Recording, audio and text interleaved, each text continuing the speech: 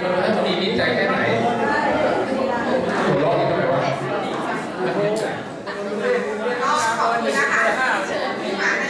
เป็นตัวแทนพูดเอ่อเกี่ยวกับว่าตั้งแต่วันแรกที่เราเข้ามาทำงานที่ตั้งแต่วันแรกที่เราเข้ามาทำงานที่นะคะเบอร์อะไรจะเบอร์อะไรอ่าเดี๋ยวเนี่ย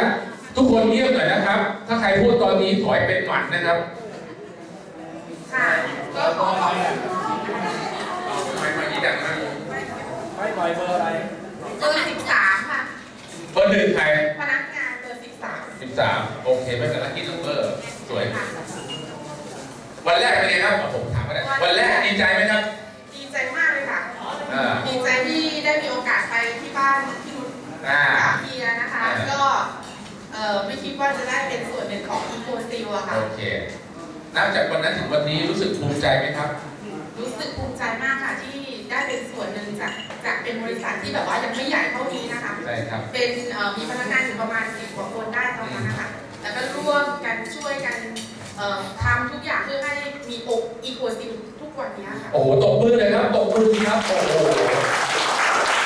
นี่นะครับ พี่หน่อยเนี่ย ถ้าจะว่าไปนะครับ จริงๆ ไม่ใช่พี่หน่อยคนเดียวนะพวกเราด้วย แต่พี่หน่อยคนเดียวเนี่ย ถ้านับจากเจ็ดปีเนี่ย ผมว่าทำยอดขายนี่ก็ร้อยล้านแล้วนะ คนนี้ร้อยล้านแล้วเป็นมนุษย์ทองคำเอาเหรอเป็นมนุษย์ทองคำฉะนั้นเนี่ย เราต้องขอบคุณพี่หน่อยนะครับ เพราะว่าพี่หน่อยเองเนี่ยรู้จักลูกค้าเป็นอย่างดีนะครับ เป็นผู้หญิงที่อดทนแล้วก็โหแบบผมไม่รู้จะพูดไงนะ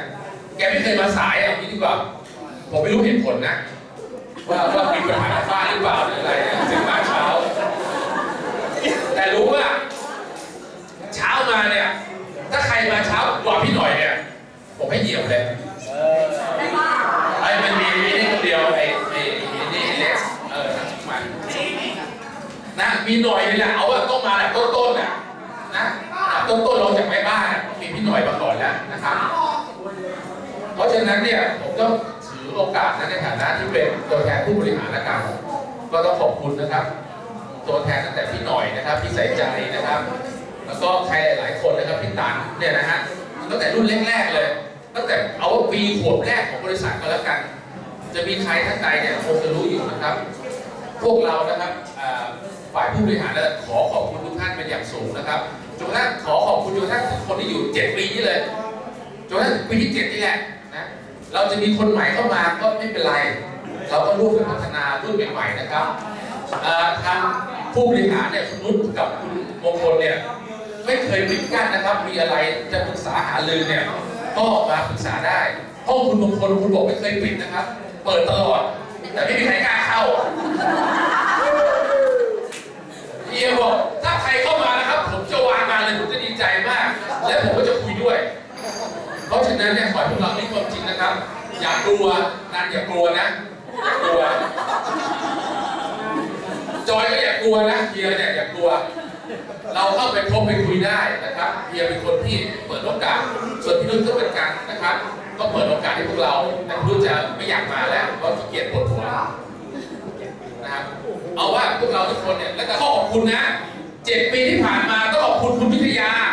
ตบมือคุณวิทยาหน่อยครับ คุณวิทยาเนี่ยเป็นคน ที่ส่วนสำคัญบริษัทนี้มาเพราเป็นคนจดทะเบียนให้เรา ถ้าไม่มีแกบริษัทนี้เกิดไม่ได้นะครับ แล้วก็มีผู้ส่วนอีกคนหนึ่งนะครับ เป็นบุคคลที่มีประสบการณ์ทางทางทางความรู้เยอะนะคุณสุเมธครับตบมือเลยครับ